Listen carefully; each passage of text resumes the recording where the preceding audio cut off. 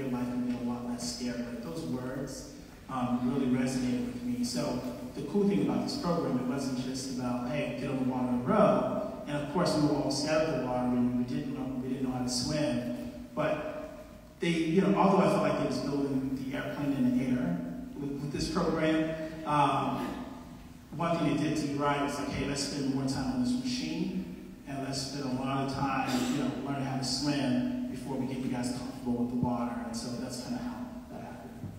So you've alluded to a couple times, you know, obviously the, the, the games that were present at Manley and you know, other high schools around. Yet to row, you, you were, it wasn't just Manley, right? You had kids from other schools as well. So how, how was, how were you able to um, get yourself comfortable with doing that? How were the instructors able to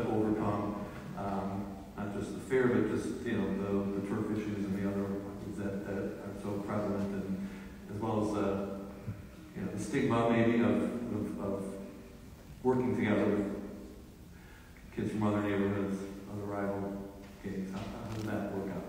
Yeah, I think it, it was it was it was hard. It was challenging at first. Um, it was challenging because in my mind, I said, okay, I got to navigate space with guys who don't even like each other from our neighborhood, but we also got to navigate space in a boathouse where people didn't look like us or didn't speak to us, and the boathouse that felt like that's supposed to be our home boathouse can feel like an away game at times. So it was a lot for all of us to really kind of navigate both spaces. And I think the first thing we had to do was really learn how connect with each other. And, and strangely, the way we all connected um, was um, because we were kind of out of our neighborhood and at a race where no one looked like us, and we kind of looked at each other like, okay, we have to stick up for each other, right? And in rowing, what's special about it is that you race maybe one time in your city and every other race is out of town. And so in those long bus rides, we would ask questions like, hey man, like, what keeps you up at night? What keeps you going? Like, you know, why are you sad? You know? And so in those 15 hour or eight hour bus rides, we, we had to communicate. Did that originate with your coaches or just from within your own Both. Yeah, both. I mean, definitely coaches will start off the conversation and then we kind of keep it going. And, um, and so that's kind of how we were able to connect by being isolated away from everything. And that's when we started asking the questions. And then once we became, we kind of, uh, well, I guess once we became a team, then from there, um, you know, it's just got a little better. So let's just touch uh, quickly on, on the competition. You guys were not very good. Is, is that fair to say? Did I say that? I didn't hear you. Uh, so that had to be tough too, just uh, you know, putting all the time and like in any competition, and not sort of seeing at least the outwardly uh, uh, validation of this is great. I mean, how, how did you guys deal with, with that in terms of the fact that obviously you're all new and you're competing against people who've been, in some cases, doing this for quite some time and much further ahead? Yeah, that was, uh, you know, honestly, it, it was it was mindset. You know, we everyone was physically um, gifted. Everyone was athletic. You know, you talk about young people who also have a lot going on outside of the water. Some people, they just, you know, some kids, the kids that we shared the house with, they were able to go and row and, you know, and get rides home. We didn't know how we were going to get home sometimes. Uh, if it was going to be safe at times. Some guys were working on the weekends to help their mom pay bills. So we had a lot to think about outside of rowing.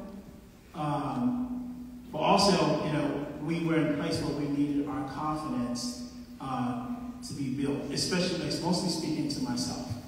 Like, think about, like, I was thinking about more of my performance. A lot of the hindrance I had was my mindset. So, for example, if I showed up every single day and told you, Michael, you know, you're not to be good at this sport. Um, you're not to graduate high school. Um, you're not going to pass the next test. Um, there's no way you're going to pass these guys that have the best boats. Like every single day, if I told you that, you're gonna be like, I don't like this guy. He's telling me every day that like I'm not good. The truth is, is that even some of the athletes that are here today, we tell ourselves that more than anyone else ever would. And it comes to a point where we don't like the sport. Like how many athletes told themselves, we're not gonna win that game, right? Or we're not gonna pass that test, you know? Or there's no way I'm gonna get into that college, right? And so we tell ourselves that, and so when we are in a program that that we have less and expect to perform in the same manner as everyone else, you begin to tell yourself these things. And so um, I think that, you know, we're like, oh, we got the oldest boats, have less days to practice, there's no way it's going to win. So I think that kind of helped hurt the performance a little bit.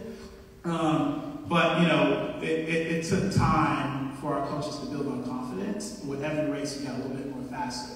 And so basically, it was spending more time on the machine. It was really encouraging each other. And then the more resources that we got, the better we felt about uh, the sport that we were in.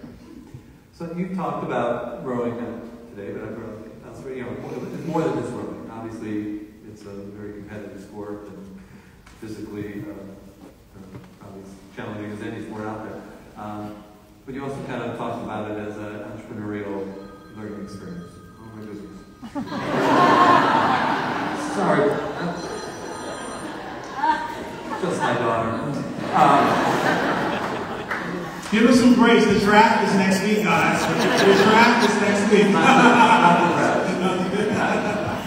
So you, you talked about uh, as an entrepreneurial experience. So elaborate on that a little bit in terms of how that. Um... Yeah, I mean, it was just not a rowing program, but it was a youth entrepreneurship program. And I think that, you know, Ken, Ken had vision that, you know, Ken. Ken, Ken was the founder of our program we started the program with. And he had a great team, um, Victor, Jessica, and Mark Mandel. Um, you know, this idea was like, hey, kids need more than rowing, right? And um, and really that program was really learning about what our community need and, and how we can help provide that because we all are entrepreneurial in so many different ways. And so that program really added to, added to the work that we're doing. And just long story short, 90% of those guys that were in the boat own their own company. You know what I mean? Which is awesome. And hire people from the community that we grew up in. And so that entrepreneurship program um, was a huge investment in all of us. And so sometimes folks want to start a rowing program, but I think you have to look at also what the community needs, how the community measures success. Um, you know, when I first wrote my book, a editor said, no, you didn't win any races. Uh, you didn't get a gold medal. You didn't race at an Ivy League college. So they said, no, we're not going to publish this. But what they didn't understand is the way my community measures success is the way I felt like, okay, I am successful. There was no access to swimming. But our program figured out how to take these men and teach them how to swim and the water became their place of refuge.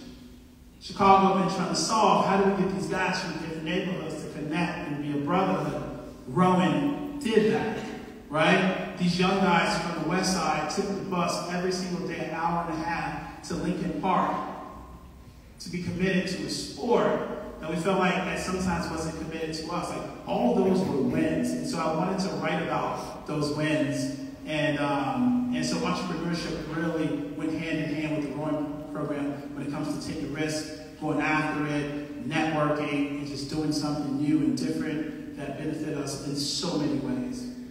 So as, as an entrepreneur yourself, so we, as you mentioned, you, know, you got this crazy idea of you'll write a book, even though you've never written anything, we're not really uh, a writer per se. You certainly didn't see yourself as that, but you managed to uh, get a publisher and someone to rework that happened to be very successful. And um, again, taking a lot of those life lessons in terms of the, the, the discipline, the resilience, and the, um, you know, from, from your from your crew days. Um, so take us kind of the, the, next step. Where have you been? This book, how, how old is this book? Like six, seven years old? Yeah, 2020 for this one, self-published before that. Okay. Yeah. Uh, So, yeah, fill, fill in some of the gaps now. Since, since, since this book published, what, what, what have you been working on? Where have you been taking those entrepreneurial skills? I mean, so many great things have happened since this book came out. Um, and I, will go through a few. And, and, you know, I think the first thing that was is that the book, I grew up watching the NAACP Image Awards. Like, love the w, uh, w, NAACP Image Awards. And I get a call that says, hey, you're nominated for Best Memoir in 2020. And I was like, I was like, that's crazy. So I remember calling my grandmother, and I said, Grandma, like, the book is nominated for the NAACP Image Awards. And you know, she's a um, woman of faith, and she said, you know you're gonna win, right? Like, you just gotta have faith that you, of course you're gonna win. And I was like, and I really thought, I was like, yes, of course I'm gonna win. And she said, so, so who are you nominating against? Switch to I was like, uh, it's Obama's book. Malcolm Gladwell. And she said, well, you better just be grateful that you're not. and, you know, but, you know, it's funny, so, so I didn't win. But I felt like I won because Obama also didn't win. yes, like I won. Um, so, you know, that, that was pretty then of course, like, this amazing movie comes out. Amazing movie produced by Common, Dwyane Wade, Grant Hill, Mary Mazzio, the Winklevoss twins.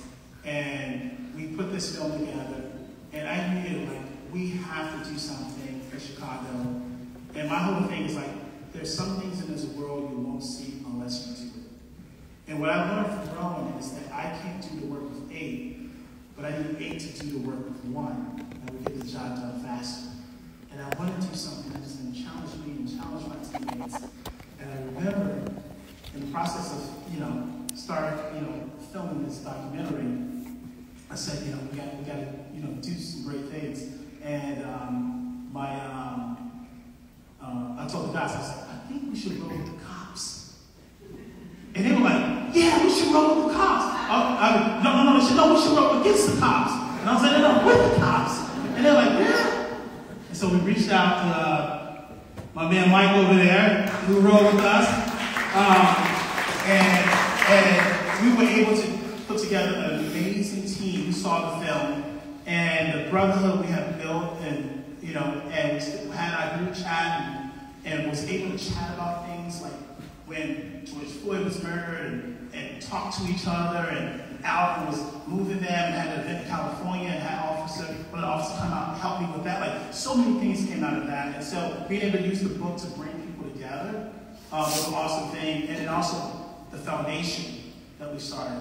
Uh, we started an amazing foundation. First year, introducing 2,000 kids of color to the club. In the first year.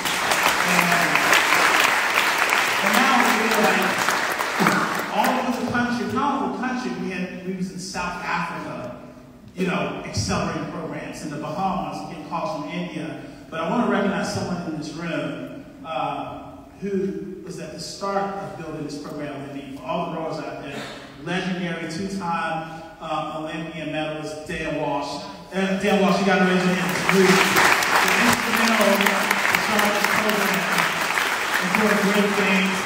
Uh, so all those who are rowers, make sure you guys meet. This guy is legendary. He's a legend in our sport, and so glad that he's here with us um, today. And so, you know, those couple. Say, say a little more about the foundation, people. Say, yeah. yeah. So a little bit more about the foundation. Um, you know, I talked a little bit about my team. In, in our foundation, there are a lot of programs that are started by really good people.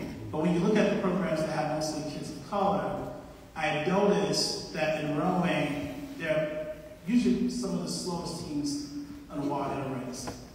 And it's not because they're not athletics. Again, they need more resources. And so what we said is, okay, we're going to find these programs, we're going to locate them, and we're going to accelerate them. We're going to give them ergs, new boats. We're going to give them coaching development. We're going to take those kids we're going to take them to camp in the summer, and we're going to pay for it all. We're going to give them new um, uh, uh, money towards swimming, money towards out-of-town regattas, all those different things, money towards academic um, access and homework help.